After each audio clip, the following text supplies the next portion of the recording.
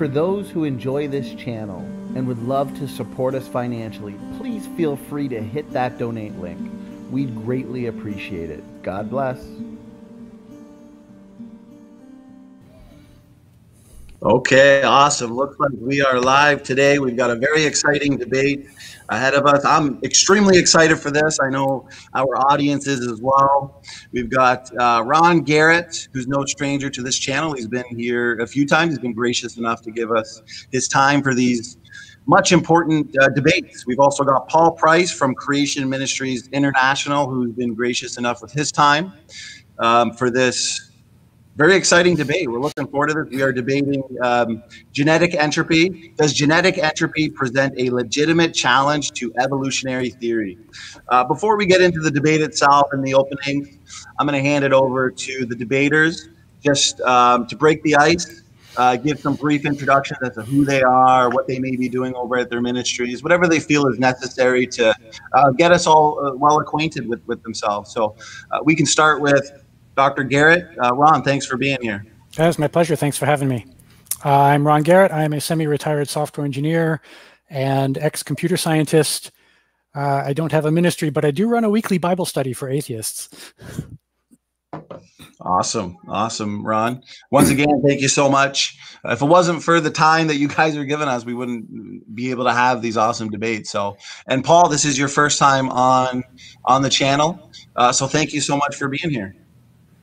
You are welcome. It's a pleasure to be here. Uh, my name's Paul Price. I work with creation.com. At the moment, I'm mostly doing full time writing, uh, but uh, under normal times when we're a lot more busy in the uh, event circuit across the nation with going out to churches and giving uh, presentations at churches, uh, I am primarily an events manager for creation.com for CMI. So I have done a lot of work organizing uh, a lot of tours across the nation for all of the different scientists and guys uh, that we work with. So it's a it's a pleasure to work for the ministry, and I am really excited to get to talk about this particular topic, genetic entropy, today. Awesome. Well, thank you so much, Paul. It's one of our favorite topics as well. It's an honor to have you both here, gentlemen. So thank you so much. Uh, for the audience sake, I'm going to go over the format just briefly, just so you guys know what to expect. Uh, before I do, actually, uh, since we're expected to have a pretty big audience today uh, with a lively chat, make sure you are tagging me with your questions.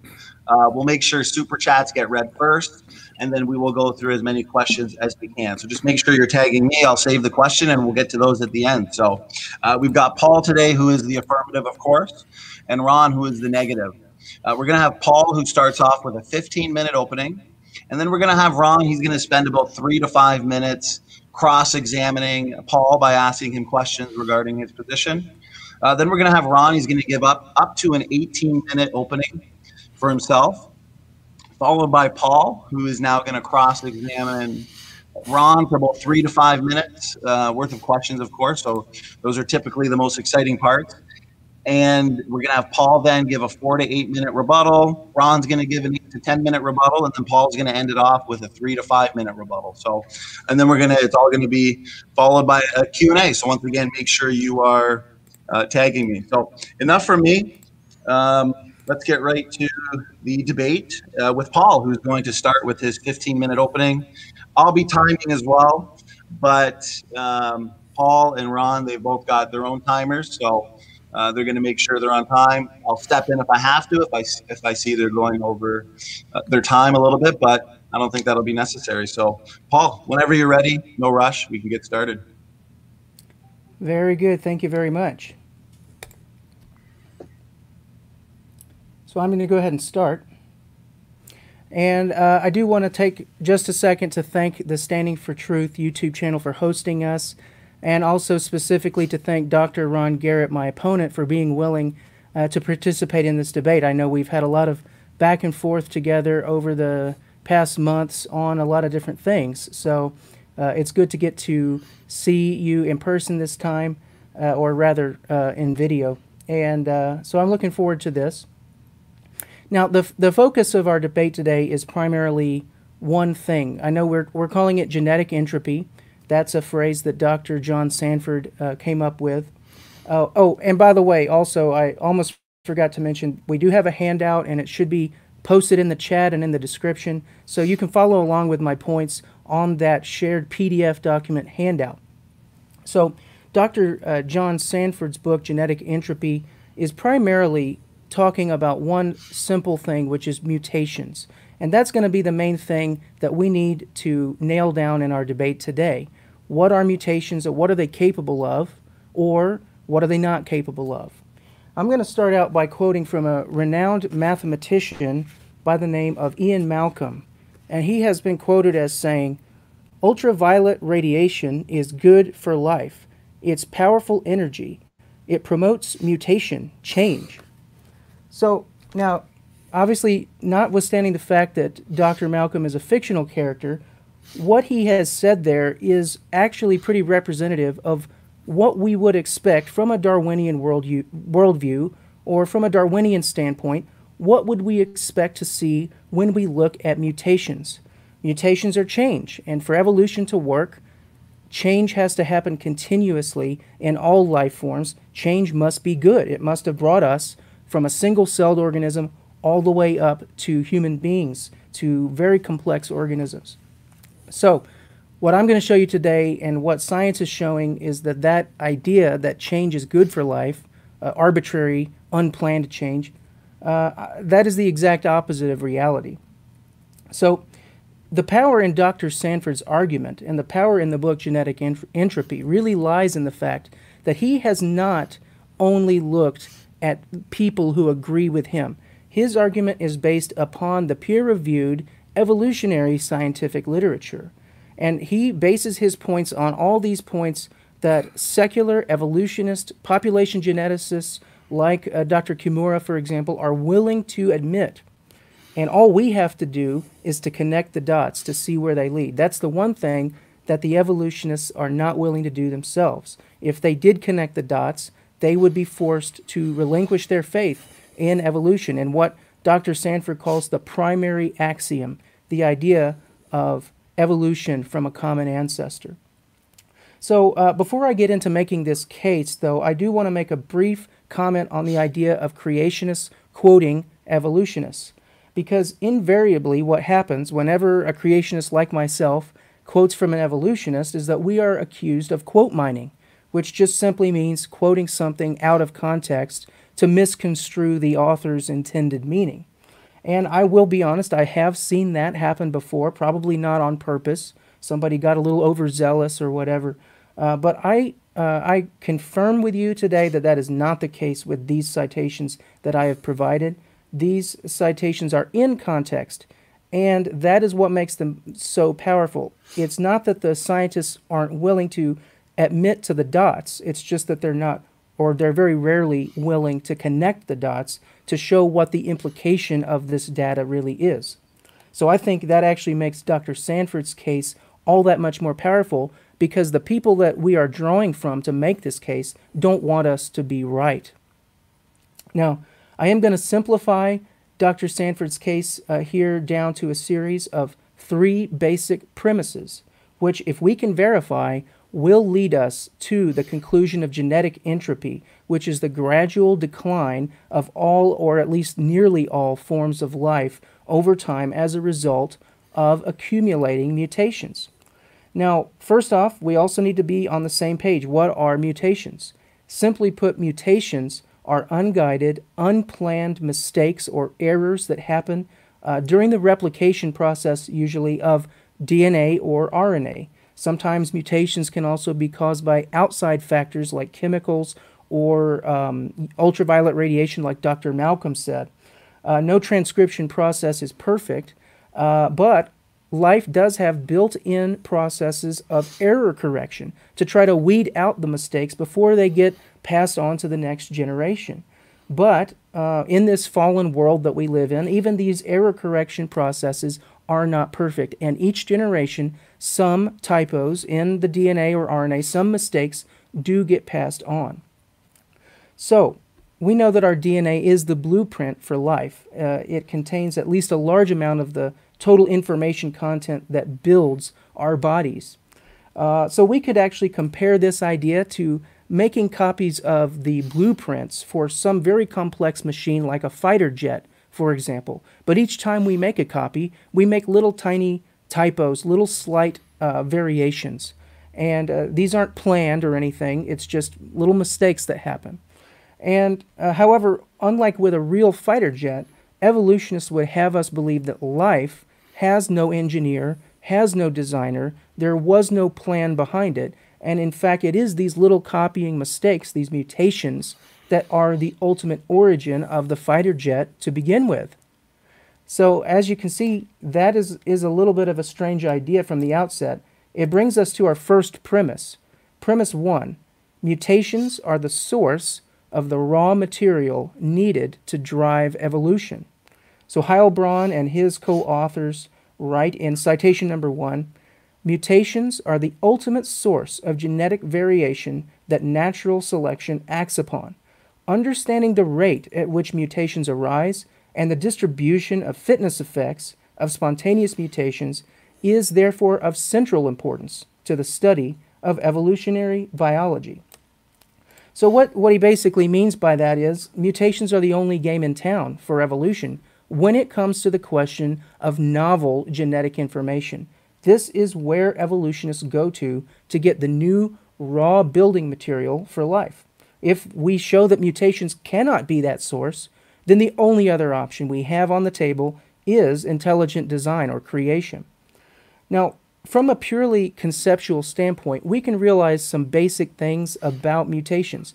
For any finely tuned machine like a fighter jet, there are obviously many more ways. If you just go in and, and arbitrarily make changes to the plans, uh, there are many more ways that you could cause harm to that to the blueprint than there are ways that you could make arbitrary changes to improve it. And so, even if you did accidentally stumble upon an improvement, it's very unlikely to be a large improvement all at once. It's much more likely to be a tiny fine tuning improvement uh, here or there. So, with that, it brings us to our second premise, premise two. The vast majority of mutations are damaging, and conversely, almost no mutations are beneficial. Looking at citation number two, quoting Gerrish and his co authors, even the simplest of living organisms are highly complex mutations, indiscriminate alterations of such complexity, are much more likely to be harmful than beneficial. And skipping down to citation 4, I'll read from Keightley and Lynch. They write, in summary, the vast majority of mutations are deleterious. This is one of the most well established principles of evolutionary genetics, supported by both molecular and quantitative genetic data. So, all right, so far, so good. Uh, actually, a lot of evolutionists would be willing to grant these first uh, two premises that we've made here. But what they would like to bring into the picture is the idea of natural selection. Now, natural selection is not really a force, it's just an observation about how nature works. There are certain organisms that have more offspring than others, uh, reproduce more competitively or more effectively than others, and so as a result, the genes that are carried by those uh, organisms are going to filter through the population and eventually become dominant in the population over time. And so we could actually simply call it differential reproduction. That's what natural selection is. Uh, and Darwin, of course, had this idea that the idea of natural selection could be responsible for evolution from simple to complex over time, higher and higher in forms, uh, natural selection is supposed to be able to whittle down all of the negative changes that occur and amplify up all of the positive changes. what we're going to show and what modern science has revealed is that that too is a hopelessly naive concept. So here's the other thing we have to get um, clear it's this word fitness. And I've written on this topic with Dr. Robert Carter, who is a, a colleague of Dr. Sanford. And unfortunately, just like with the word evolution itself, the word fitness is a, slippery and tricky word. It can be used in different places to mean different things. And what I've found reading through these genetics papers, reading through the literature, I have, uh, and I believe Dr. Sanford has spoken on this too, there's kind of an, a subtle division of meaning, a nuance of meaning when it comes to fitness. So, for clarity, I'm going to divide fitness into two separate ideas. The first of those two I'll call absolute fitness. Absolute fitness would refer to the biological function of the organism, irrespective of its ability to reproduce. Whereas reproductive fitness would refer to the competitiveness of the organism in reproduction in the population. And I think it's very obvious and, and in fact self evident that there are a great many ways that you could change an organism in a way that would reduce or increase absolute fitness while having no impact at all on reproductive fitness. So those are really two separate ideas. Uh, for example, I'll, I'll give one example of that. Let's say that you alter my genes so that my maximum lifespan is reduced by 10%. So I, I live 10% fewer years. So that would be a reduction in my absolute fitness because I'm now less healthy, less robust, I have a shorter lifespan, uh, but it's almost certainly uh, not going to represent a reduction of my reproductive fitness. Very few people actually have children in the very, very latter part, the last 10% of their life. So reducing my lifespan by that amount would not affect my reproductive fitness at all, but it would be a reduction in my absolute fitness. Now, my opponent has written if a mutation is invisible to natural selection, then by definition it cannot be deleterious. A deleterious mutation, by definition, is one that reduces reproductive fitness. But I, I, hold that that is actually a, an oversimplification of this idea of fitness. He's only looking at one side of the coin, reproductive fitness. But we have a, a bigger picture to look at. And uh, Dr. Kimura, uh, one of the founders of neutral theory, Dr. Tomoko Ohta as well, uh, these scientists have come up with these ideas that they call neutral theory, but they're actually prevalent now. They are the prevailing view in population genetics. And at its core, this idea of neutral theory is a repudiation of my opponent's oversimplified idea of fitness. So that actually brings us then to our final or third premise.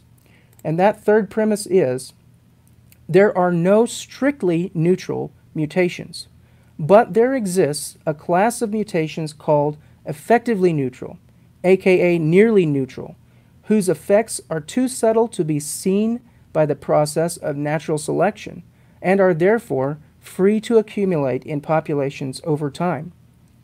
I'm going to skip down to uh, citation number seven, which is actually the, the seminal work in population genetics where uh, Dr. Kimura laid out and actually gave us a chart of his model of mutations and their distribution of fitness effects. And what he says is he says, note that even if the frequency of strictly neutral mutations is zero in the present model, a large fraction of mutations can be effectively neutral.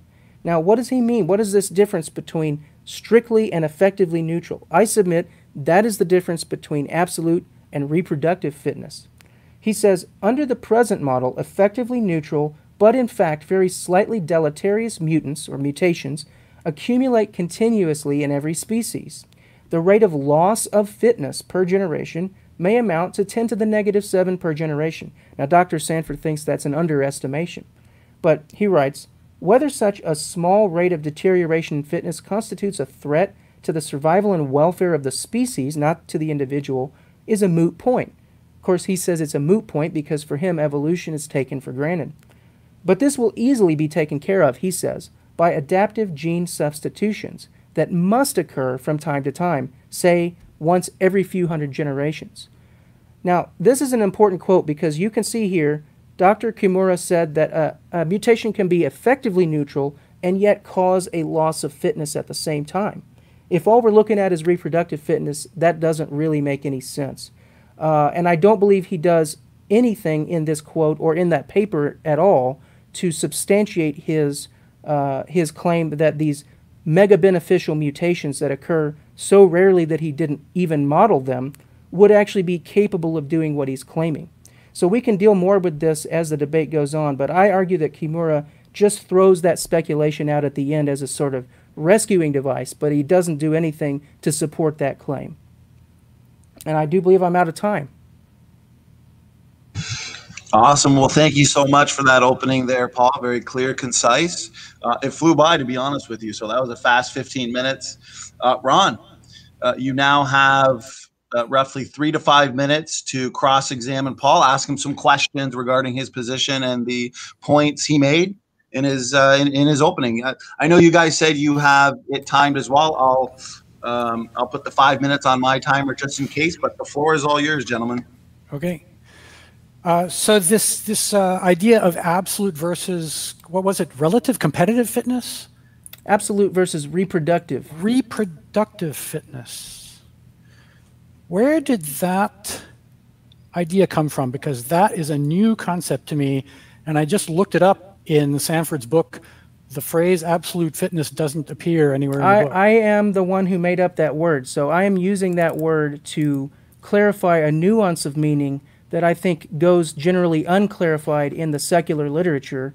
It's not a word that Dr. Sanford actually uses or made up, uh, but I do believe the idea of this comes through in his work, and he's actually stated, for example, when he gave his uh, presentation to the National Institutes of Health, uh, he basically said the same thing. He just didn't use that term for it. Okay, so this is your invention. The, the word is, not the idea itself. Okay, where did the idea come from? Because it's a new idea to me. Well, I would say that idea really is you, you can't even understand the secular literature without presupposing that idea. If you if you take that away, then what they're stating doesn't make any sense. They're saying it's both harmful and not harmful at the same time. How can that be? It's because they're talking about harm in two different senses. Okay. Um, what would falsify Sanford's theory? What would falsify it? Yep. Um, I would say, you know, that we're, we're talking about forensic science here. We're not talking about operational science. So when it comes to falsification, what's these, the difference between forensic science and operational science? Yeah, forensic, or we could also call it historical science uh, versus operational science. So when it comes to historical science, what we do is that we look at all of the clues available to us, or forensic science, we look at all the clues available and we use abductive reasoning, which is the inference to the best explanation. So, all I can really say in terms of falsification, because it's not rigidly falsifiable, it's not that type of science. Neither is evolution. What, what we're looking at here is abductive reasoning, the inference to the best explanation. So, in order to cause someone to rationally reject genetic entropy, you would have to show that all of the clues that we're looking at are somehow misleading or, or wrong or we're coming to the wrong, we're interpreting them wrongly. It's, it's a holistic approach. It's not just any one little thing. Okay, Does so that make it, sense? It, well, it, it makes sense within the context of the position that you're trying to defend. Did I hear you correctly that you conceded that the genetic entropy hypothesis is not falsifiable? Uh, I would say in its in its purest form, genetic entropy is an extension of historical science, just like evolution and creation. I believe it's well supported by data, but just like evolution and creation, it's not falsifiable in the sense that you couldn't just come up with any one piece of data and then say, boom, I've falsified your theory. It's, it's not that type of thing. It's a holistic look at all the evidence available and we're using our inference to the best explanation to say genetic entropy is the best explanation for what we see. Okay. Does genetic entropy make any predictions that are different from the predictions made by evolutionary theory? Exactly. Of course it does. Yeah, the exact opposite of evolutionary theory. Evolutionary theory would predict that change over time, unguided change, I should say, over time, would be a good thing. Uh, and it would increase fitness, it would increase absolute fitness over time, it would increase the viability of organisms over time, and it would add complexity over time. That would be what evolution would say. Genetic entropy says the opposite that when we look at what happens with unguided, unplanned changes that occur in life over time, we find in general that they degrade life rather than building it up. So it is very much the opposite prediction compared to the uh, the Darwinian view. Okay, uh, by my clock, we're coming up on five minutes here, so and yeah, I'm, kind of, I'm out of questions anyway. We've got one minute left. Yeah, if you want to, would you like to move on to your opening now, Ron? If you if you ran out of questions. Um, sure. Okay, let me restart here. You have up to eight minutes, of course, or 18 minutes. Sorry, you don't have to use the entire 18 minutes, but go ahead, Ron, whenever you're ready and comfortable. Go ahead. Okay, so I want to begin by pointing out that we're playing for some very high stakes here. If it turns out to be true that genetic entropy is a serious challenge to evolutionary theory, that would be really, that would be a really big deal. Successful challenges to scientific orthodoxy are very rare, and a successful challenge of this magnitude would be unprecedented because evolution is one of the best confirmed scientific theories of all time. It's in the same league as general relativity and quantum mechanics in terms of the amount of evidence that supports it. Fortunately, genetic entropy does not even bear a vague resemblance to a serious challenge to evolution. And I'll just point to one thing that uh, Paul's already conceded. This idea of uh, absolute versus reproductive fitness is a complete straw man that is actually not part of evolutionary theory. The only kind of fitness that matters in evolutionary theory is reproductive fitness, but I'll get I'll get to that. I want to start by showing you what a, an actual credible challenge to scientific orthodoxy actually looks like, because genetic entropy ain't it. Uh, in the early 1980s, a new disease was identified, which eventually came to be called acquired immune deficiency syndrome, or AIDS. And by the late by the late 1980s, the cause of this disease was widely believed to be a newly discovered virus called the human immunodeficiency virus, or HIV. About 10 years later, in 1996, a scientist by the name of Peter Duesberg published this book, really big, fat book called Inventing the AIDS Virus, whose thesis is that the disease known as AIDS is not caused by the HIV virus, but rather by drugs, both recreational drugs and, ironically, the drugs used to treat AIDS. Now, that might seem like a ridiculous idea today, but it was a lot more plausible back in the mid 90s. For one thing, HIV has a very long incubation period, often taking 10 years or more before it finally kills you. When Duesberg's book was published, AIDS had only been known for about 10 years, so there were a lot of people walking around with HIV infections who seemed to be perfectly fine. Also, back in those days, AIDS, at least in the US, was mostly confined to homosexual men, and as a group, they did a lot of recreational drugs. And then when they were diagnosed with HIV, they were given all these antiviral drugs that were supposed to save them, and then they all died anyway because the drugs weren't very good yet. So maybe it really was the drugs that was killing them. And there were other reasons not to just write off write this off as a crackpot theory. Peter Duesberg was, in fact, still is, a professor of molecular and cell biology at the University of California at Berkeley. So this theory was being advanced by a legitimate and respected scientist working well within his field of expertise. The foreword to Duesberg's book was written by Kary Mullis, the guy who won the Nobel Prize for inventing the polymerase chain reaction. It's chock full of data and references. It's dense. It's a work of legitimate scholarship. And it is also absolutely categorically and catastrophically wrong. But how can we know? Remember, this entire debate is happening because we're questioning the reliability of scientific orthodoxy. We can't say that Duesberg was wrong because science says so any more than we can say that Sanford is wrong because science says so. That would be begging the question. So, can we show that Duesberg was wrong if we can't trust the scientific consensus? Yes, we can. In fact, we can refute Duesberg with a single data point, but before I tell you what that data point is, I have to give you a little more backstory. Duesberg's book gave rise to a community of HIV AIDS denialists some of which are still active today. One of these was an organization called Alive and Well, which was founded by a woman named Christine Maggiore. Christine tested positive for HIV in 1992. Two years after that, she met Peter Duesberg, who convinced her that the antiviral drugs she was being given were actually going to kill her, and so she stopped taking them. And 14 years after that, in 2008, Christine Maggiore died of AIDS. Now, that's not quite a slam dunk. 14 years is a long time, and so Christine's death might have been a fluke, except that unfortunately we have another data point. In 2001, Christine had a daughter named Eliza Jane, who was born HIV positive. And because she was Christine's daughter, Eliza Jane didn't get treatment either. And in 2005, Eliza Jane also died of AIDS. She was five years old. Unless you feel the temptation to argue that this was also a fluke, you should know that Christine had a second child, a son, who was not HIV positive and is still today alive and well. You don't have to take my word for any of this. It's all in the public record. The point here is that to know that Peter, Peter Duesberg is wrong, we don't have to read his book at all. It doesn't matter how intuitively plausible his argument sounds or how many facts and figures his book contains or how much of an authority he is.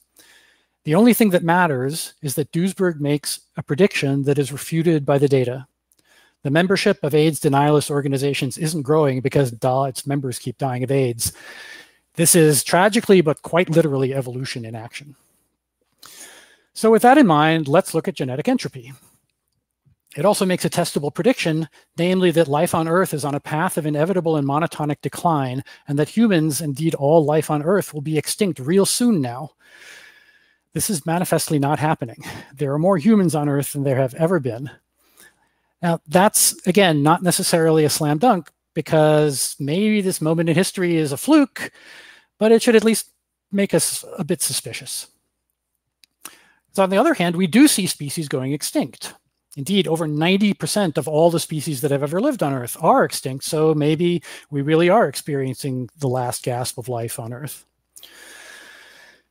Fortunately for us, no, that's not what's happening, because genetic entropy makes two more specific predictions that are clearly at odds with the data. First, genetic entropy says that all the species that have ever existed on Earth were present at the beginning, at the moment of creation. No new species were ever created after that, and that is absolutely not what the data shows. What the data shows is that the repertoire of species on Earth ebbs and flows. Species go extinct and new ones are created on a more or less continuous basis. And second, Sanford makes a quantitative prediction about when we can expect humans to go extinct.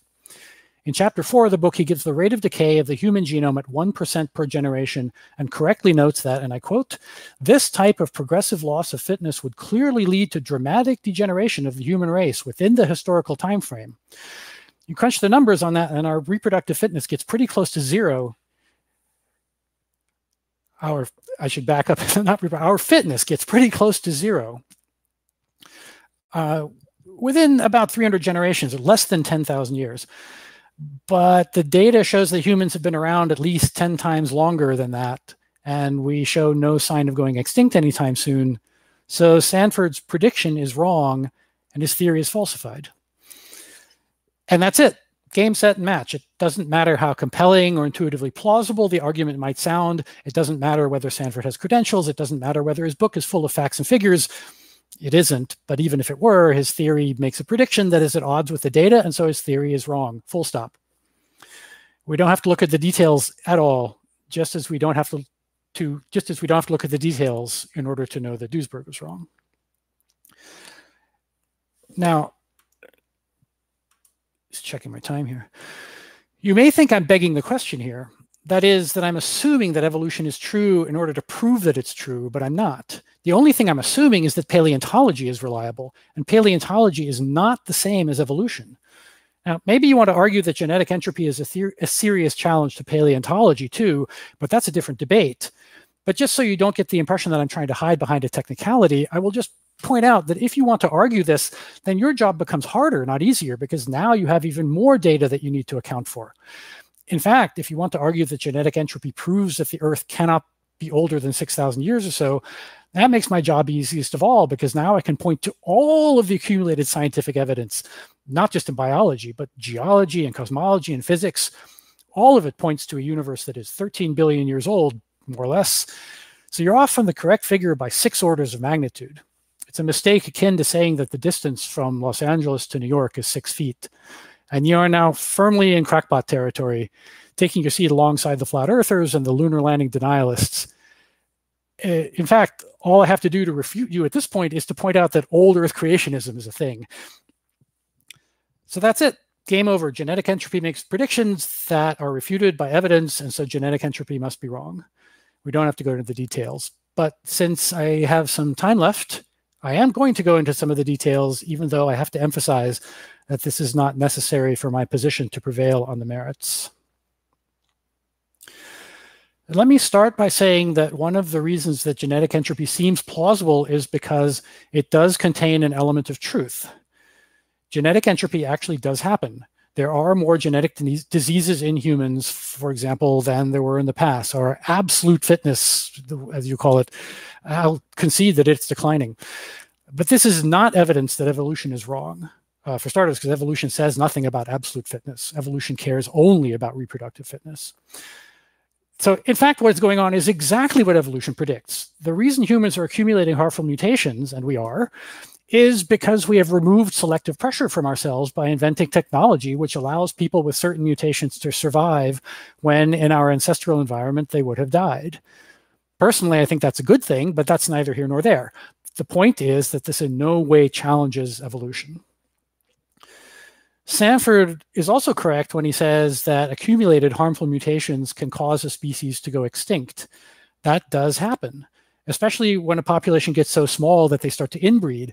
This is exactly why inbreeding is bad. It reduces genetic diversity, so the range of environments where this population can survive gets smaller, and if their environment changes too fast, they can go extinct. Can and does happen. Unfortunately, that's about the last thing that Sanford gets right just about everything else he says is wrong. And in the time I have remaining, um, I'd like to address some of those points. So again, I have to emphasize that none of this is necessary for me to prevail on the merits. By the way, I think my stopwatch screwed up. So how much time do I actually have left? Um, from my timer, you have six minutes and 50 seconds. Okay, cool.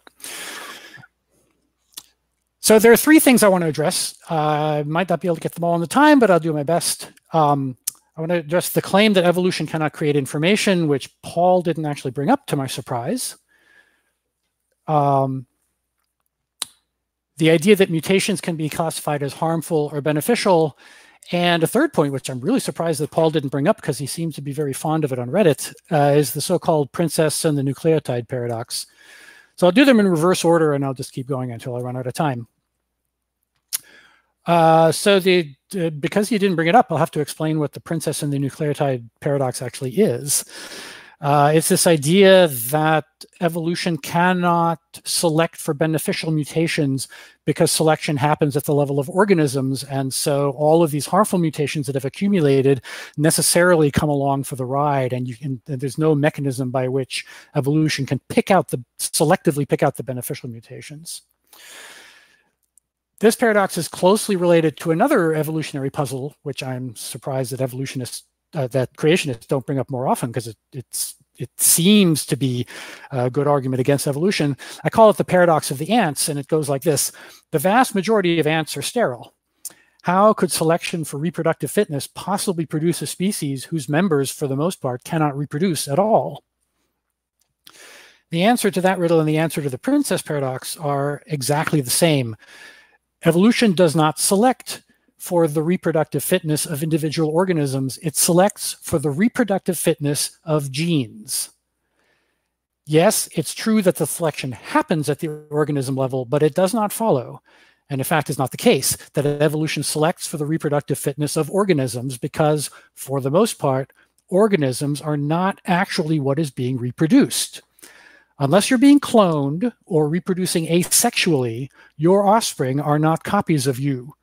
They are, however, hosts for exact copies of some of your genes. Unless you're an amoeba or you're being cloned, you are not reproducing. Your genes are. And that's the answer to both the ant puzzle and the princess puzzle. Genes build organisms genes that build organisms that are better at reproducing the genes that built them reproduce more than the ones that build organisms that are less adept at it. And so those genes persist while the others die out. And here's the key insight. The particular copies of the genes that are inside a particular organism are not necessarily the ones that need to be reproduced in order for a gene to advance its reproductive fitness. From a gene's point of view, one copy is as good as any other. The genes that built the sterile worker ants are, for the most part, the same genes that built the non sterile queen who does all the actual reproducing. But the queen can't survive without the workers, and that's how the workers contribute to the reproductive fitness of the genes that they carry, despite being individually unable to reproduce. It's actually the same with humans. An individual human can't reproduce either. at a very minimum, it takes a mating pair. In actual practice, it takes a lot more than that. If you've ever watched the TV reality show Naked and Afraid, then you know that a single pair of humans in the wild is very unlikely to survive at all, let alone be able to raise a family. For humans to reproduce, it really does, at the very least, take a village. Okay, so uh, on to the next point uh, harmful and beneficial mutations. Sanford's entire thesis is based on the assumption that you can somehow rate mutations on a scale of harmful to beneficial, but you can't. There are some mutations that are harmful in an absolute sense, like a mutation that kills an organism, organism before it can reproduce. But even Sanford's concedes that those are rare because, duh, any mutation that bad is going to eliminate it, eliminate itself from the gene pool almost immediately as soon as it arises. So instead, genetic entropy theory turns on these so-called very slightly deleterious mutations or VSDMs. But there actually isn't any such thing because the harm or benefit of a mutation the, in, with respect to reproductive fitness, which is the only thing evolution cares about, with the exception of the ones that kill you immediately, cannot be assessed on any absolute scale. Harm and benefit can only be measured relative to some environment, relative to reproductive fitness in some environment. Mutations that are harmful in some environments can be beneficial in others. For example, the gene that causes sickle cell disease also confers resistance to malaria. This can be a net win if you live in a malaria zone, otherwise not so much. Another example is dark skin protects you from sunburn, but inhibits your, inhibits your ability to synthesize vitamin D. So a net win in the tropics, less so in Northern Europe. So finally, if I have time, uh, point number three, the claim that information can only be produced by intelligence. Um, you know what? I think I'll just skip this and I, it's going to be a little, getting a little too harsh and combative. And I think we have enough to talk about at this point. Okay, Ron, thank you so much. With one minute to spare, um, once again, clear, concise opening. Great openings from the both of you. We're now moving into the uh, next section where Paul will ask uh, three to five minutes worth of questions to Ron. Um, I'll start the timer as well, and the floor is all yours. Okay, three to five minutes. Um, my first question for Ron is: um, I listed three premises here in my in my opening 15-minute monologue that represent the core of Dr. Sanford's argument. I didn't hear you in your rebuttal uh, or in, in what you just spoke. I didn't hear you at any point uh, address any of those three premises. Are there any of those three premises that I just listed out that you would disagree with? Yes. I, fact, you have me a little nonplussed how you could not have. Well, okay. Let me let me mm-hmm. correct myself. I think I did hear you say something that would be applicable to the third premise but I don't recall. Okay, premise, so okay, so let me just answer to that. Premise number one, I definitely agree with. Premise number two, the problem with that is that you cannot assess harm or benefit in an absolute scale, only okay, with respect okay. to an environment and only with respect to reproductive fitness. So I, I reject this whole notion of, that of of absolute fitness. Evolution does not refer to that. That's just a straw man. Um, and with respect to premise number three, uh, there are no. Yeah, that's the premise two and premise three are basically have the same flaw. They both are premises that have a tacit assumption behind them, which is that you can assess harm or benefit on an absolute scale, and you can't. Okay. Um, my follow-up question to that would then be, how do you explain the fact that that is exactly what the secular population geneticists are doing?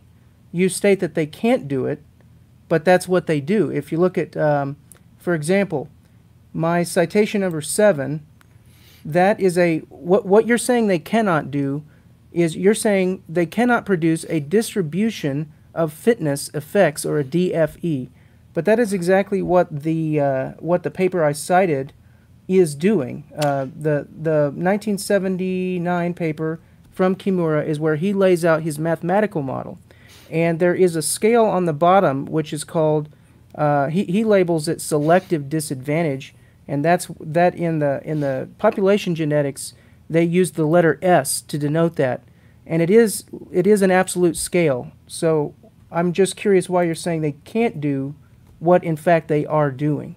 Uh, those are simplified models, and in fact, Kimura himself admits in that paper this is a simplified model. It should not be taken as an accurate model of reality. It's a simplified mathematical model that he used in order to make a very specific point, which was not the genetic entropy point, but it's a different point. I don't remember exactly what it was. Um, I would agree that it's simplified, uh, but I think that makes the problem worse, not better. Um, let me ask you this. Uh, what does Dr. Kimura mean? In citation number seven, Dr. Kimura, and actually it's true in citation number six as well, which is a more modern paper in population genetics. But what do they mean by this? Uh, they're using this term strictly neutral, and then they use a second term, effectively neutral. What do you think that means? I don't know. Okay. Well, that is uh, that is the end of my questioning. okay. Well, awesome, uh, awesome cross exam there, gentlemen. Um, I'll, I'll, point out real quick. I think there might be a slight echo again. Just um, it, I'm not sure if it's the volume there, Paul. Yeah, I had my volume a little too high there. Sorry. Oh no, that's okay. That's okay. We still heard everything. Uh, came out uh, perfectly clear. Just wanted to point that out just in case. Um, but yeah, it looks like we're moving on to Paul. You have uh, roughly eight minutes uh, for rebuttal to Ron's point. Whenever you're ready, go ahead. I'll start the timer as well.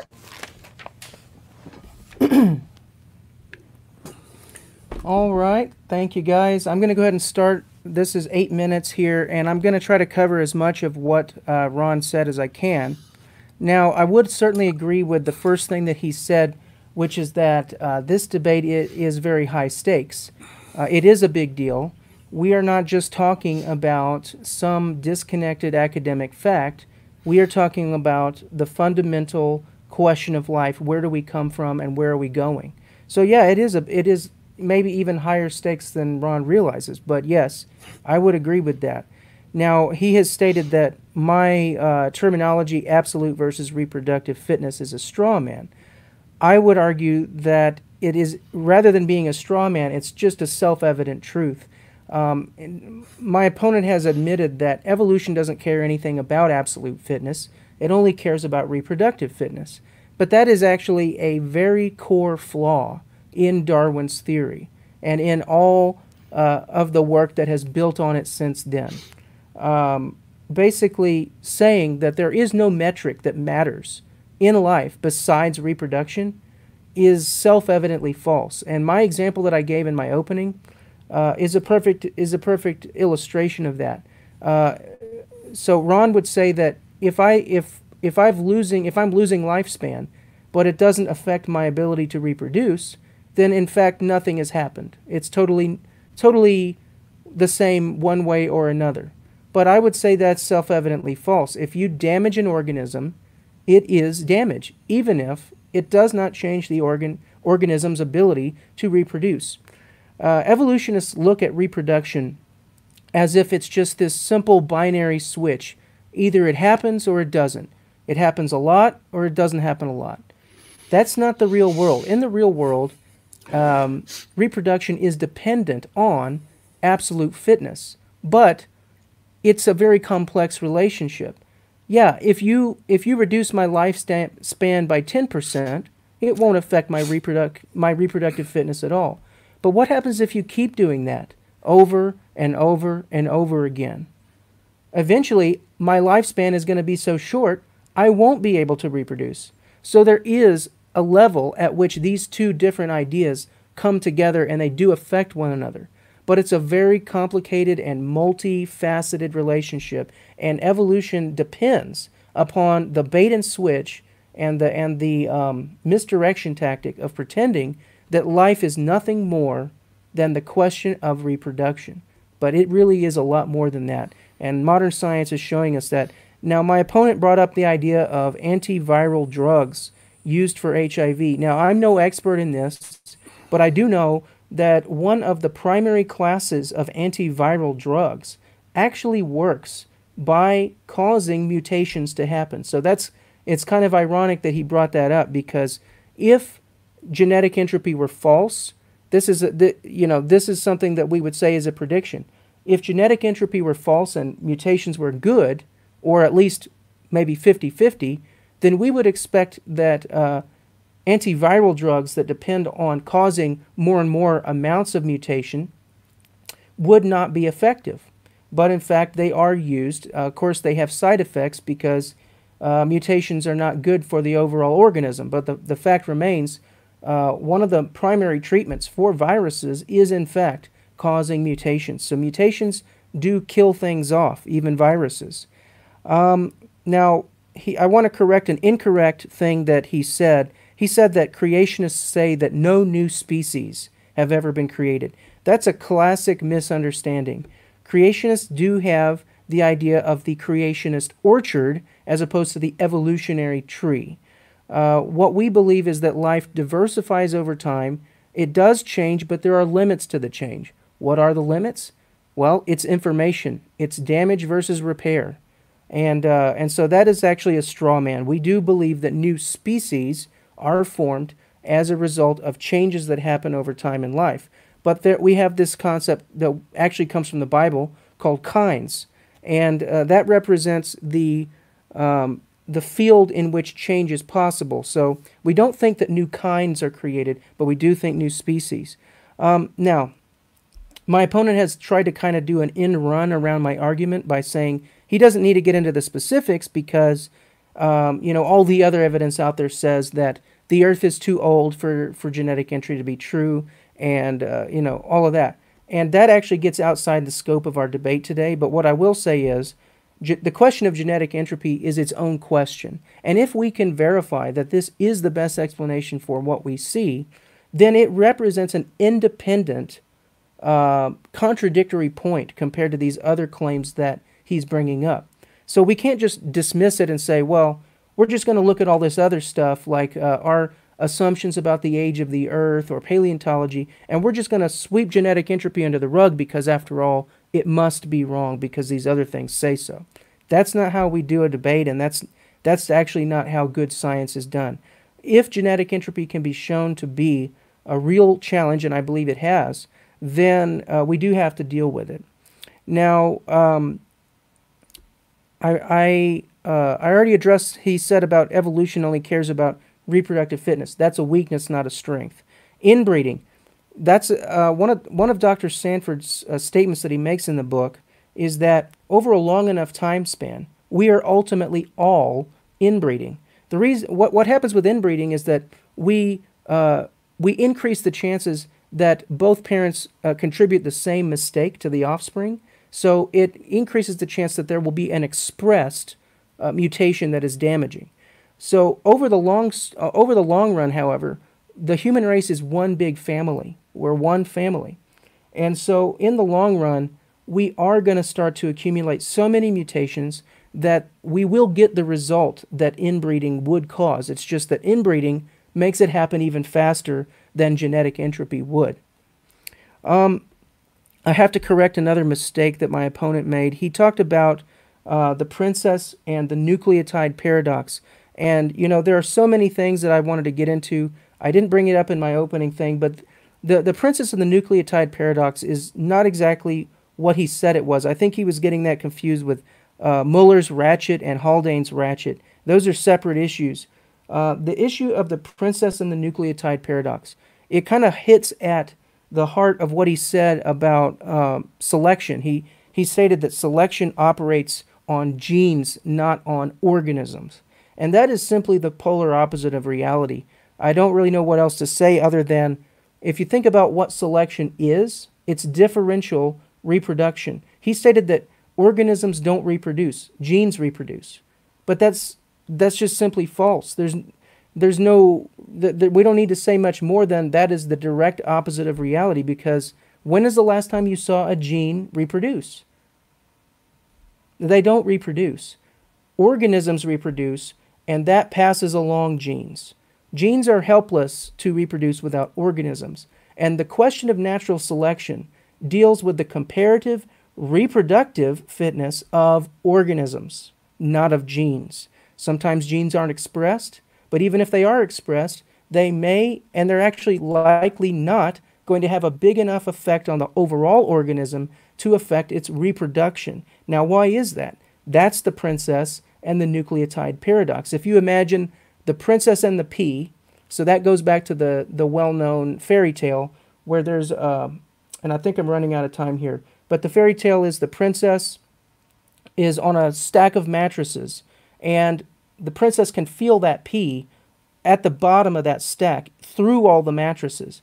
That's the situation we're in with genes and organisms. Natural selection has to somehow feel that gene through all the layers of obscurity that happen up to the level of the overall organism. So maybe I'll have more time to talk about that later, but I'm out of time. Thanks for your time. Awesome. Thank you for that, Paul. Um, we've got Ron. Uh, looks like Paul just went just 30 seconds over, so we can add 30 seconds to your rebuttal time if you'd like. Uh, that gives you a total of um, 10 minutes and 30 seconds for your rebuttal. Okay. You're ready, Ron. Um, so, as the uh, uh, person who is the proponent of evolutionary theory here in this debate, uh, I'm the one who gets to say what that theory actually is and is not. And you don't get to tell me what my position is. My position is that evolutionary theory says certain things. I can point you to the books that say this, the specific book that explains how it is genes and not organisms that reproduce, and how selection on organisms has the effect of selecting genes.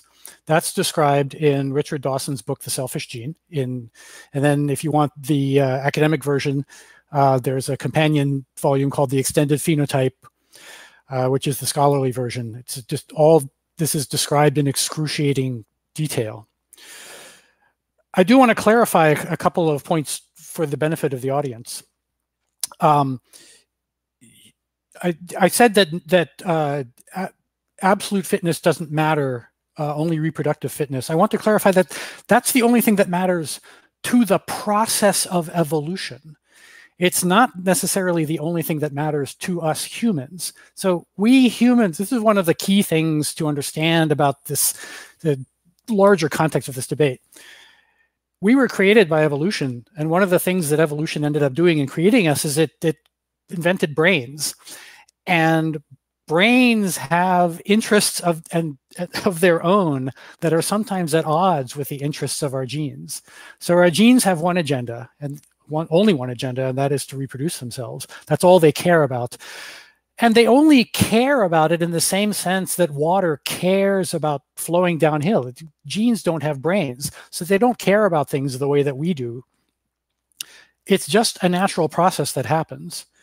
But because we have brains, we care about things in a completely different way than the way evolution cares about reproduction.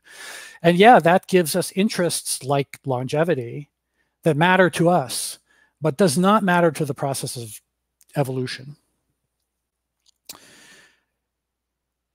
Another thing that's important to understand is that people who subscribe to evolution don't subscribe to the idea that this is all there is to life. Again, because we have brains, because we are conscious beings with free will, we can transcend the mechanistic aspects and the, the mechanistic mindless processes that created us. Uh, and uh, so you said life is nothing more than reproduction. The process, the underlying processes of life that got us here, yeah, that's nothing more than reproduction. That doesn't mean that our lives have nothing of value in them other than reproduction.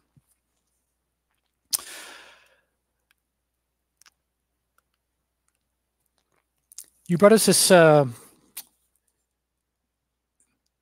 the distinction between kinds versus species. Again, if we're talking only about genetic reproduction, about whether or not genetic entropy is a challenge to evolution, then you have to have that discussion within a framework that accepts the rest of established science as fact. Otherwise, you're begging the question.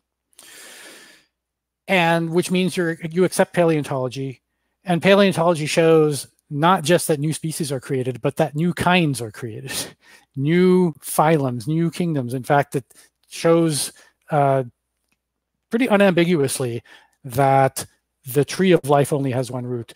And even if there were multiple genesis, multiple genesis events, multiple abiogenesis events,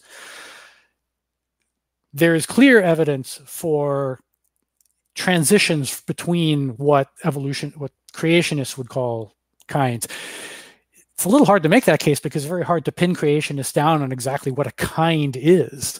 Um, maybe you could clarify that for me. How many kinds are there? Nobody, I've never been able to get a straight answer for that question. My grounds for claiming victory uh, in this debate is not that genetic entropy is at odds with with uh, the um, the scientific consensus. I was very clear about this. I actually cannot assume that the scientific consensus, that the, the mere fact that genetic entropy is at odds with the scientific consensus, that is not evidence that genetic entropy is false. Uh, that would be begging the question on my part. The evidence is the failure of genetic entropy to make a testable prediction, the fact that you conceded that it was not falsifiable. Then later you contradicted yourself and said that it does make predictions that are at odds with evolution. And if it makes those predictions, then we could do an experiment and see which prediction is actually borne out.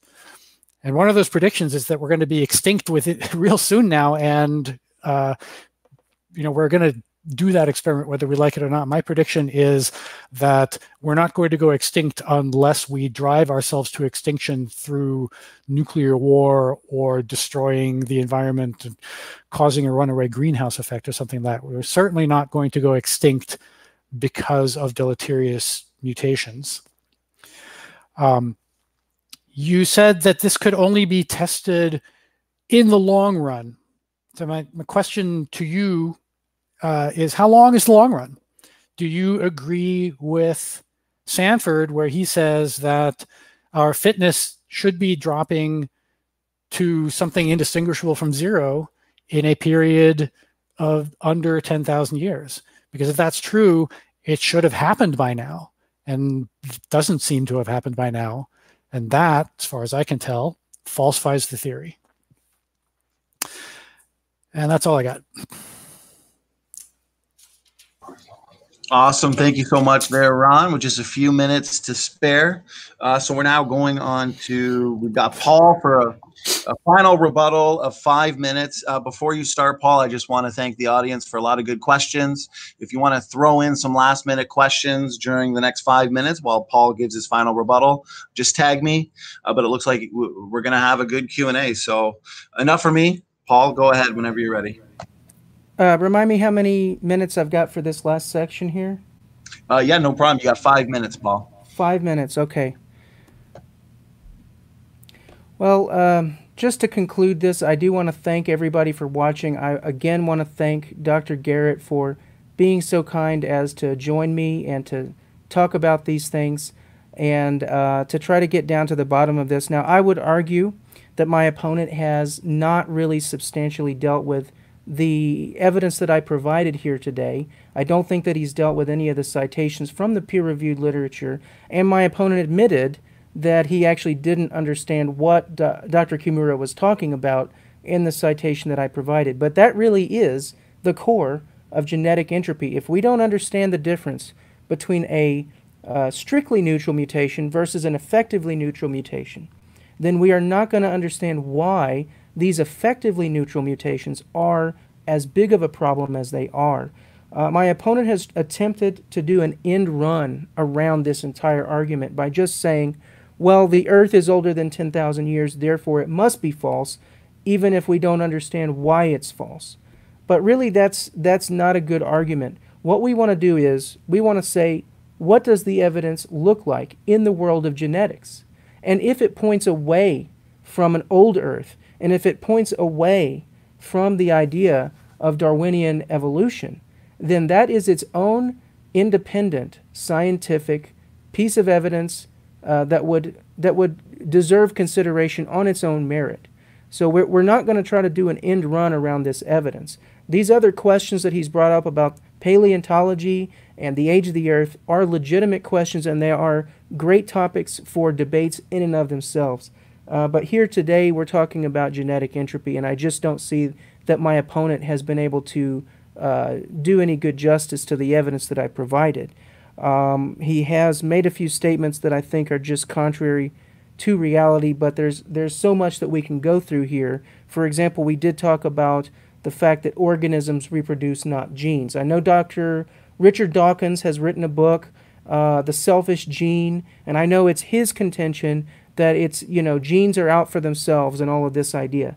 But that really runs smack dab, uh, you know, into the wall of reality when we look at how these things work. Natural selection is not omniscient. That is the princess and the nucleotide paradox. The princess is natural selection. And the nucleotide is the mutation, the tiny little mutation. And you'll see in the handout uh, that the experts admit most mutations are very small. And, uh, and there's a significant quantity that are so small that they are simply beyond the reach of natural selection. And that's what that whole paradox is about. If you put a pea underneath 10 mattresses and lay on that mattress, it's absurd to think that you would be able to feel that pea underneath all those mattresses. There are too many layers of um, disjointedness between that little input and your ability to sense that input. Um, that's that, and that's more true the more complicated an organism becomes. Now, uh, there's another idea which I really only have time to skim, but this is the idea of biological noise. And that actually makes Kimura's estimate inaccurate because he didn't, when he talked about the percentage of effectively neutral mutations and when he talked about the fitness decline over time, he wasn't really taking biological noise into account when he did so. Um, maybe we can talk more about that in the Q&A. But uh, just to close out, I want to say that what I'm bringing you here is, from a worldly perspective, very bad news. Uh, it's not good news. It says we are doomed. Not just humans, but most life forms are doomed. Uh, just as the whole universe has uh, a tendency to wind down over time and uh, usable energy is lost into unusable forms, uh, just as that's true on a grand scale for the whole universe, it's also true when it comes to information, and it's true in life. Uh, over time, life is getting more and more corrupted, just like a computer program that keeps getting copied and gets a little bit more corrupted every time you copy it.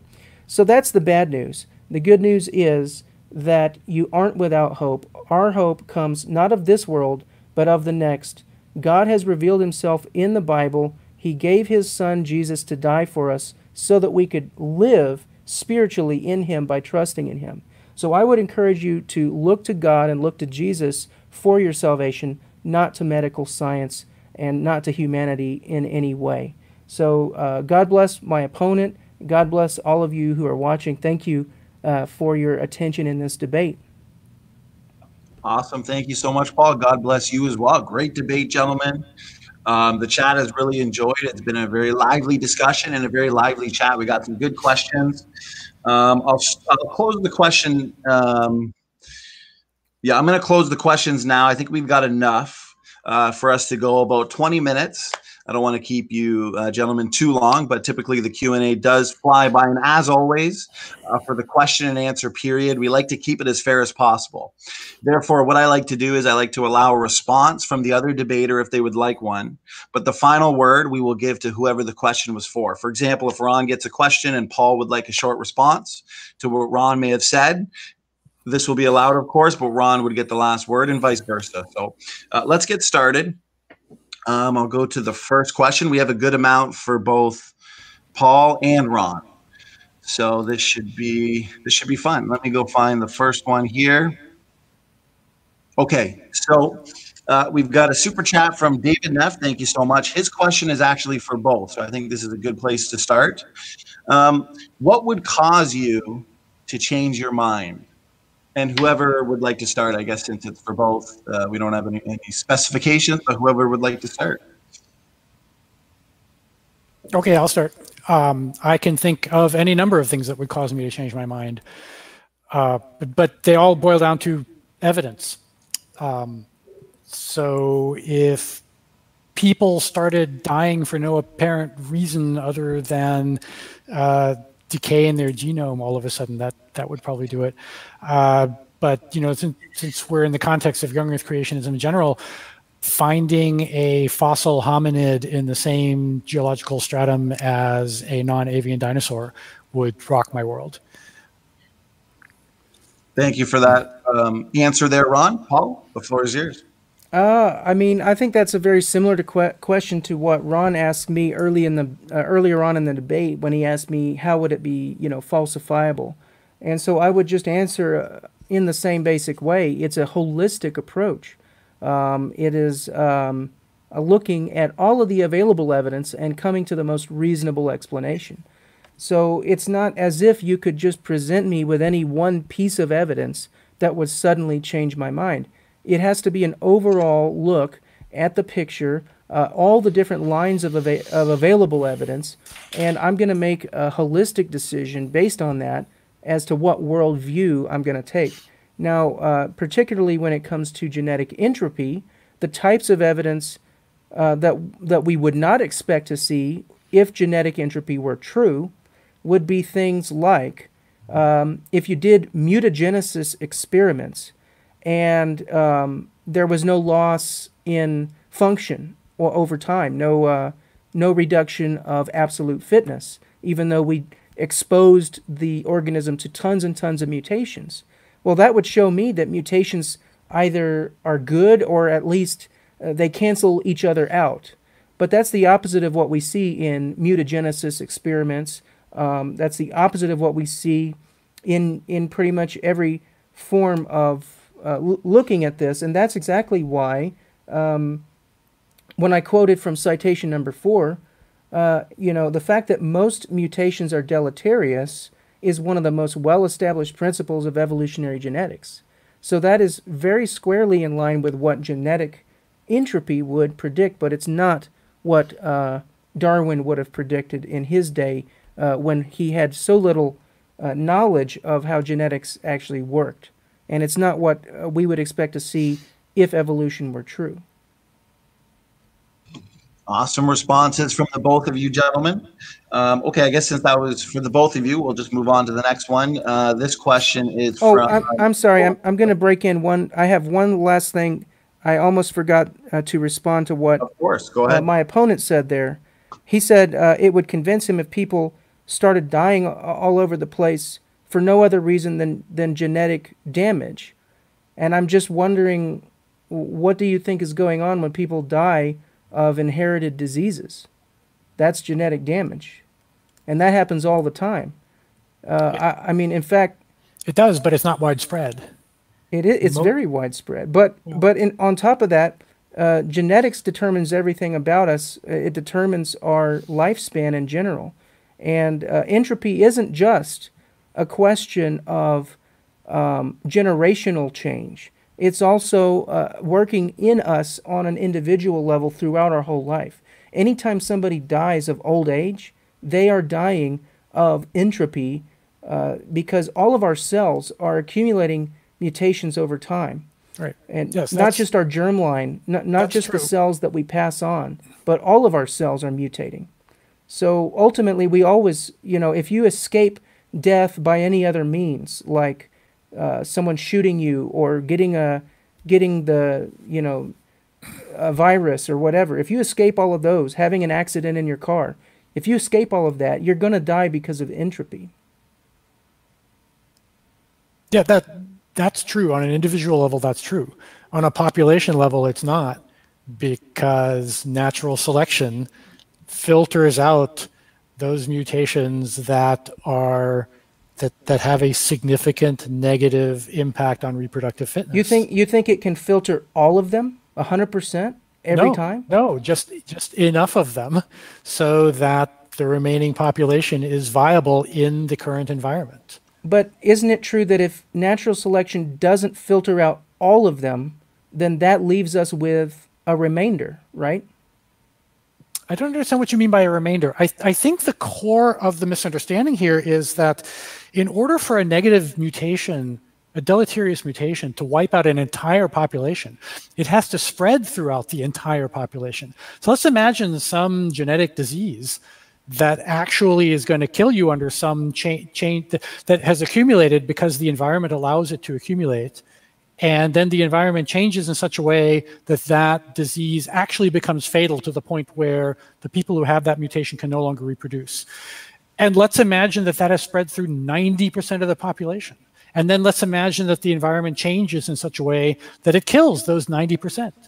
The remaining 10% are still going to be alive. They're yeah. not going to have that disease, and they're going to repopulate the, that environment yeah, with gen- organisms that don't have are, that disease.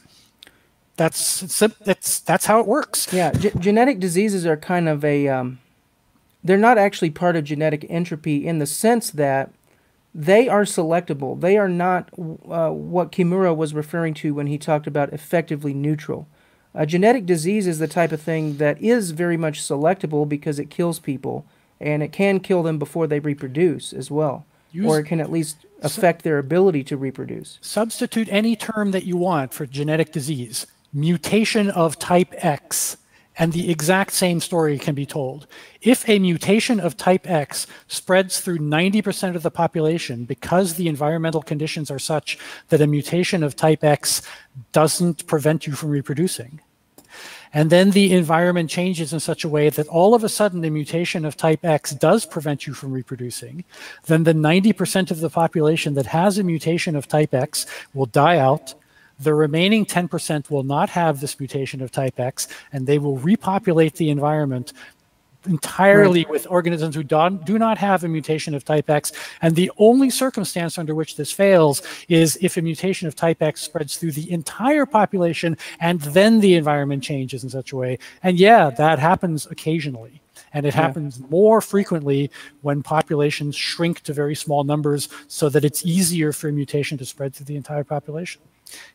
It's it's not rocket science. Yeah, that the the issue there is that we're not genetic entropy is about the accumulation of a weight of combined mutations and their effects on the full genome. Uh, it's not about any one particular mutation because, uh, as we said, that the effectively neutral mutations on their own don't do enough to affect reproduction. That's why they're effectively neutral in the first place. Like so what I we're dealing with here is an accumulating weight. Term that you want, and the exact same story can be told. I'm sorry, but you know, substitute accumulated mutations for mutation of type X, and I will tell you the exact same story. Okay, gentlemen, did you want me to go on to the next question here? That was a good back and forth.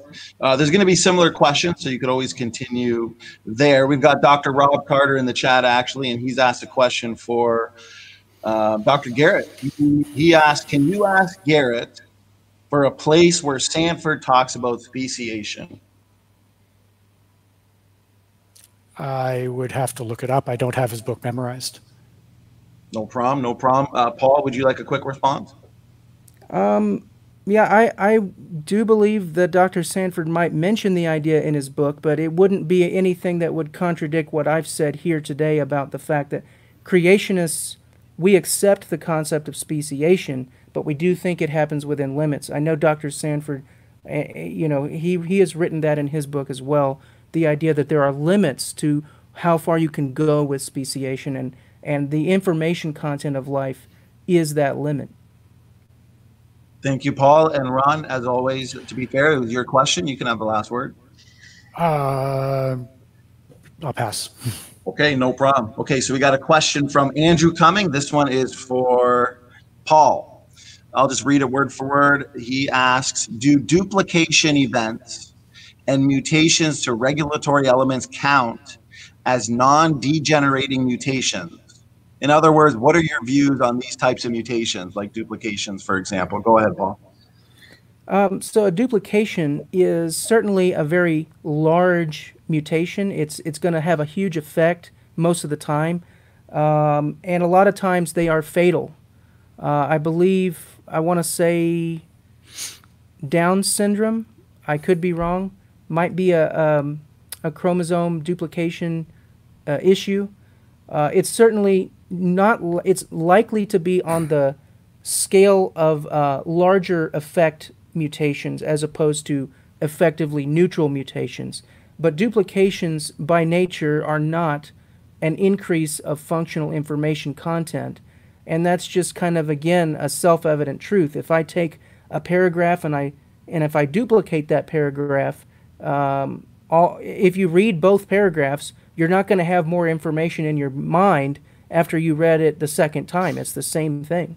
So it's not the type of thing that would be capable of bringing us from a single cell up to a human being. Thank you for that answer, Paul. Uh, Ron, would you like a response? Yeah, so um, I was actually a little surprised we didn't get into this in the body of the debate because I had a whole section prepared to talk about it. So I'll just uh, wing it a little bit here.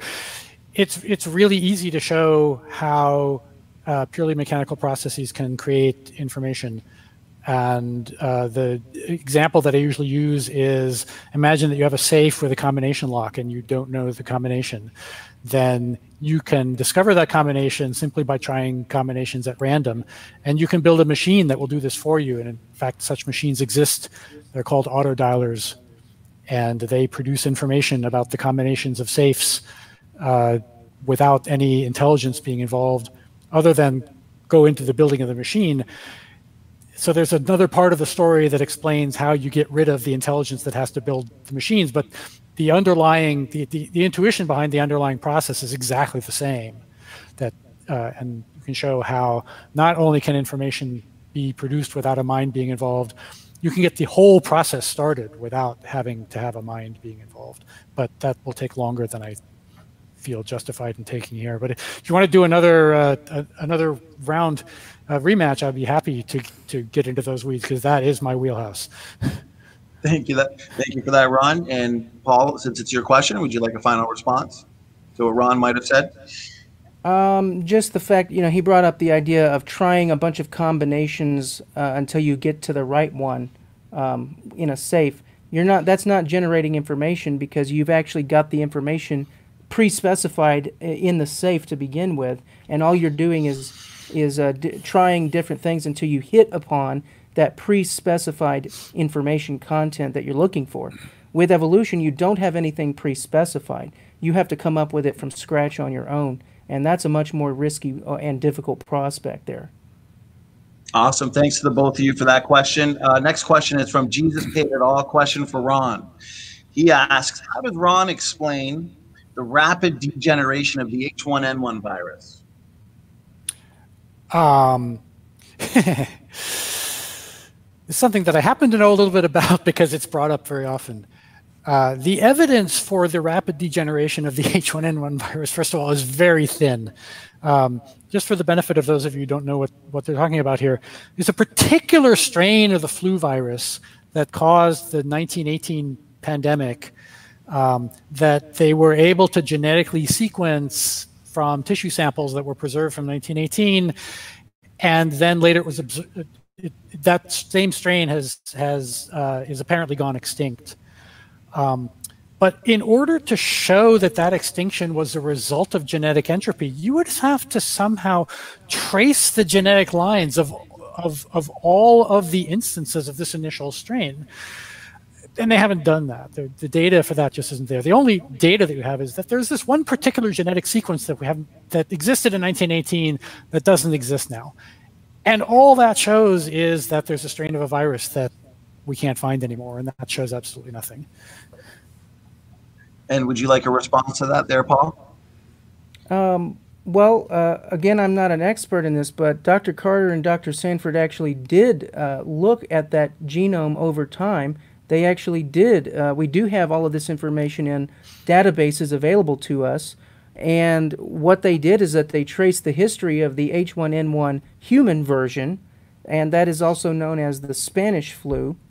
And they showed how over time, uh, as that virus went through the human population and proliferated, it had a, an increasing load of mutations uh, as, as the years went on. It actually went extinct. The first time, I believe, was the year 1957, and then it reappeared uh, somewhere in Russia on the Chinese border uh, sometime in the 1970s. And it reappeared in exactly the same form that it was in when it disappeared, which implies that it was released out of a cold storage in some way.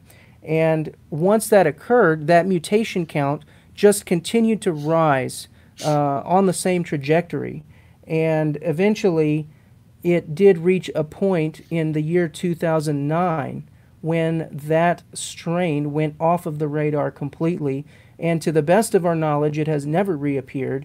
That original strain from 1918 is now totally extinct to the best of our knowledge.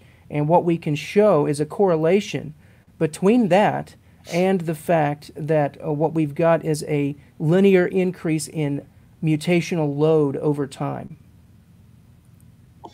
Awesome. Thank you for that, Can, Paul. can I just have the last word here? Yeah, of course. It's your question. You get the last word, Ron.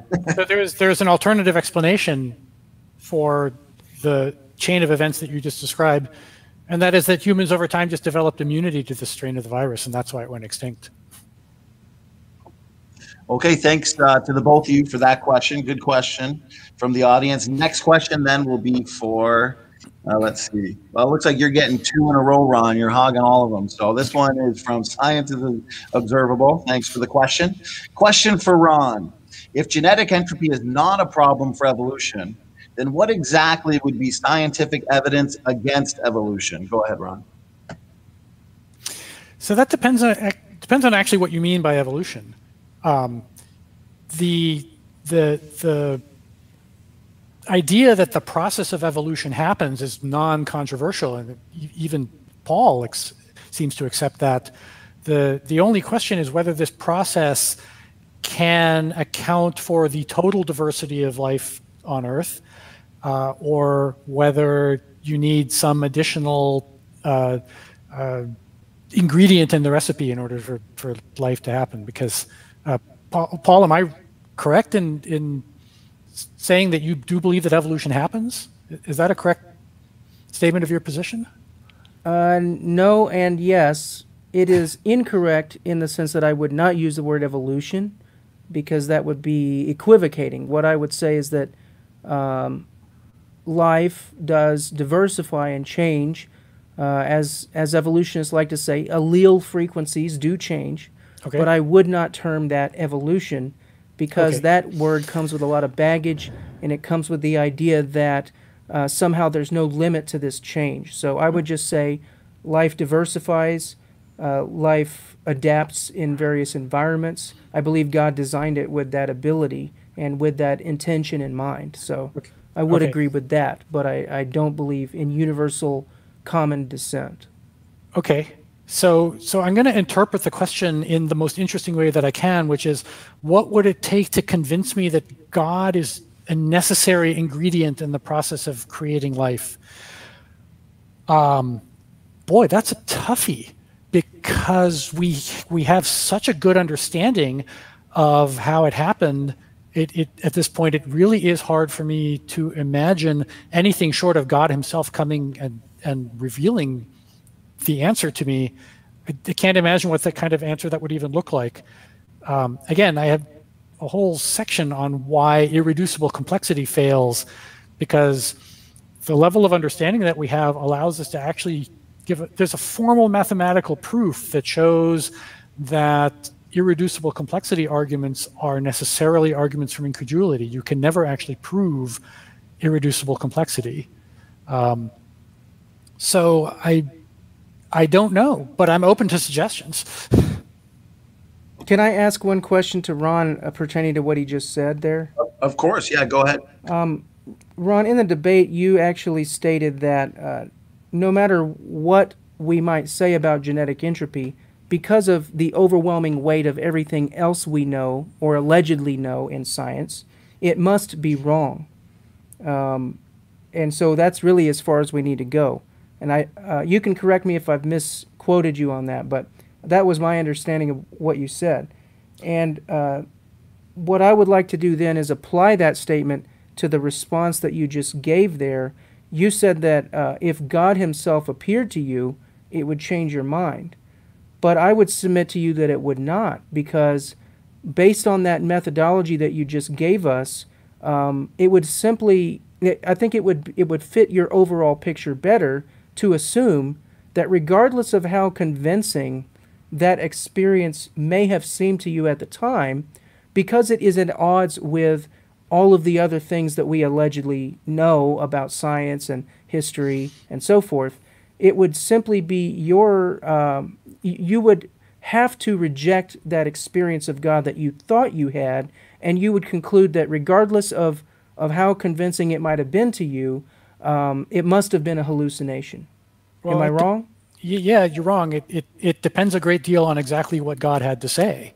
So if he said things to me that I found persuasive, then that in and of itself would be evidence that this is not just a hallucination, not just the product of my mind, um, and, and, not a delusion. So, uh, so I, that my stock answer to this is I don't know what would change my mind about this, but God does. so, oh, so, I, I agree with you on that. He he knows. Awesome. Uh, great back and forth on these questions. The audience uh, are having a blast. Actually, some have expressed that this has been their best, their favorite debate thus far, and we've had quite a lot of debate. So, good job to the both of you for keeping it engaging. Um, so, next question here is actually a super chat from SWE. I'm going to try and pronounce this one as best as I can. So, if I screw it up, I'm, i apologize. Uh, question is for Paul. Um, she asked, "What does Paul think of Lenski citrate?" HIV one group, MVPU, and lambda phage, all inventions of mutation. I'm familiar with the first two, like Lenski and then the HIV one, but the lambda phage, not sure. But I guess Paul. Well, I'm I'm kind of with you in the in that you know in in prepping for this debate, I obviously couldn't go through every possible thing that you know somebody could say. So I know that Lenski's long-term evolution experiment, talking about the um, talking about the alleged gain of function uh, mutation that is allowing it to, um, if I remember right, digest citrate. You know, th- this is something that is certainly addressed, and probably all of these things are addressed in articles at creation.com. So I would encourage you to go check there. Uh, but in general, these types of got you gotcha things are just basically misinterpreting what has happened. It's generally, even though it might be a quote unquote increase in fitness, that would be the reproductive fitness, not the absolute fitness. So check out um, the article creation.com slash fitness uh, to understand the idea of reductive evolution, where something can be beneficial. Uh, Ron brought up the idea of sickle cell anemia. That is a classic example of reductive evolution. It's an increase in reproductive fitness, which is actually a de- decrease of absolute fitness. So, um, yeah, that's a good question. And unfortunately, I just can't uh, have ready answers to every possible example out there. But yeah, that in general, uh, that would be an example of reductive evolution, not the type of increasing information that we would need. Awesome. Thank you for that uh, for that great answer, Paul. Ron, did you have something to respond with on that one? Okay.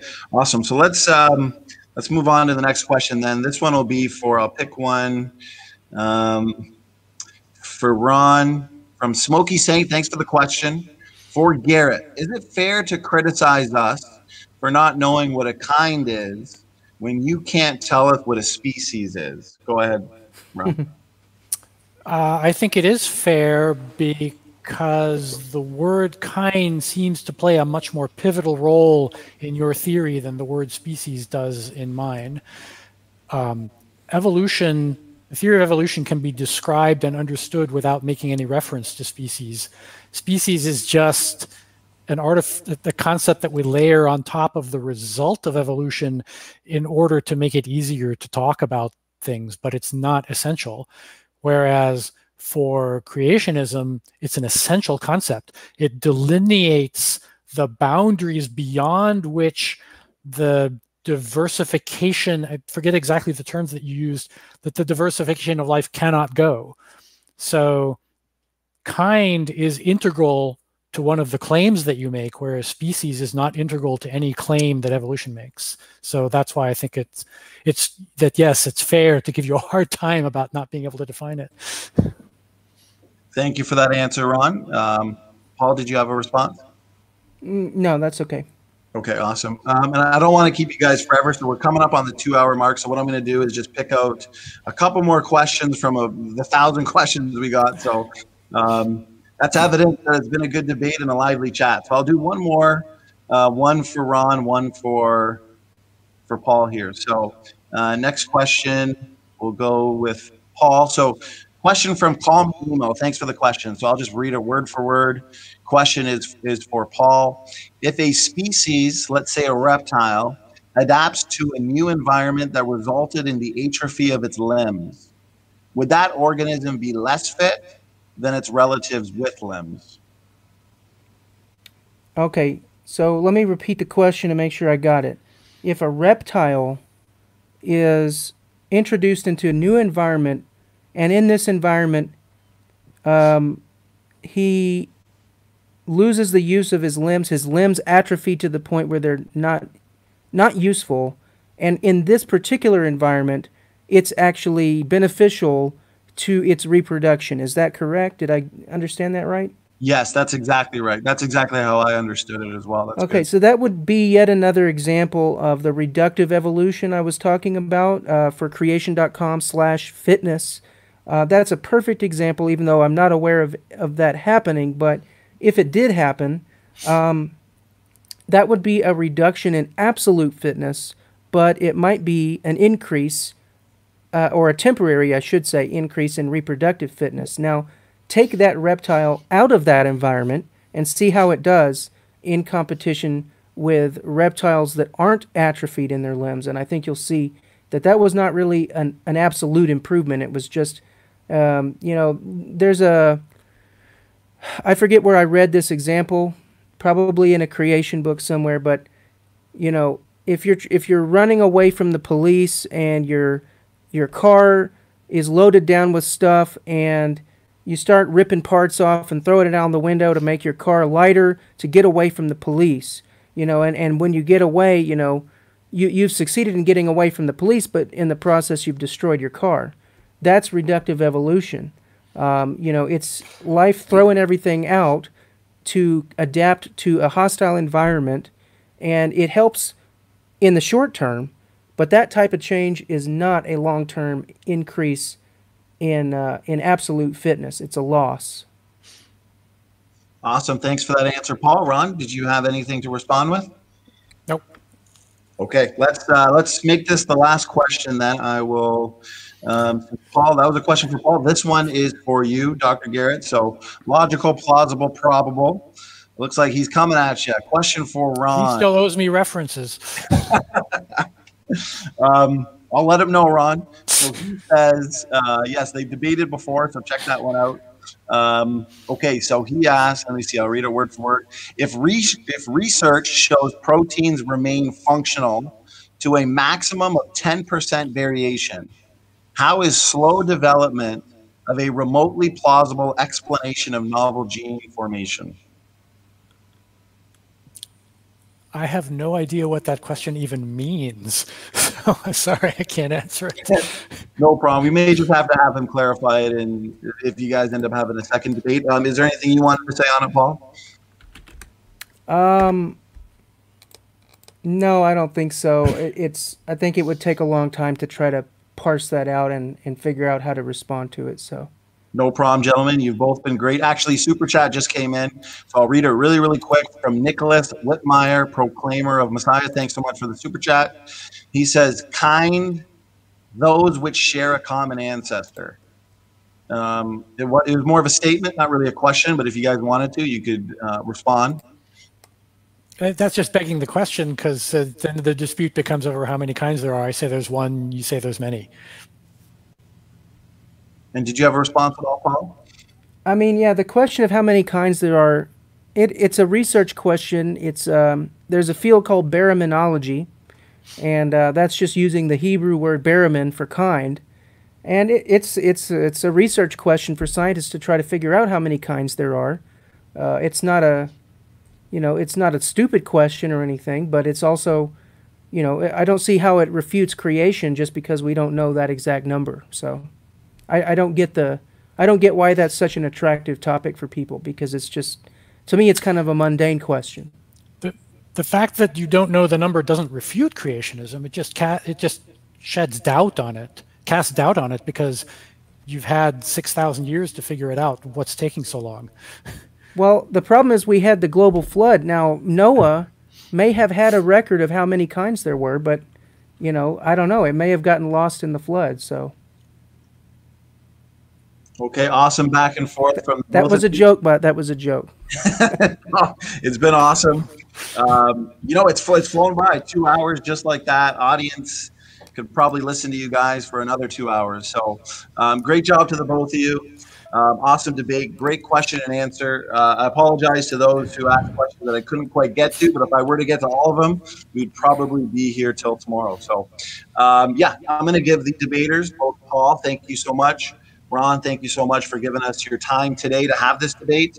I'm going to give you guys the final words if you wanted uh, to say a, a few last things um, to the audience or each other. Go ahead. Uh, we can start with you, Ron. Um, thanks for having me. Thanks, Paul, for making the time. I really appreciate it. It's been interesting and stimulating as always. Um, love to do a rematch if you're up for it. And go ahead, Paul. Same here. Um, I'll have to check my schedule on that, but definitely I appreciate this time. Appreciate the um, appreciate the audience participation as well. So, uh, God bless everybody. God bless you as well. Thanks so much, guys. Like I said, it's been a blast. So thank you to the audience. And we're going to hand it over to the wonderful producer to shut it down for the day. Thanks so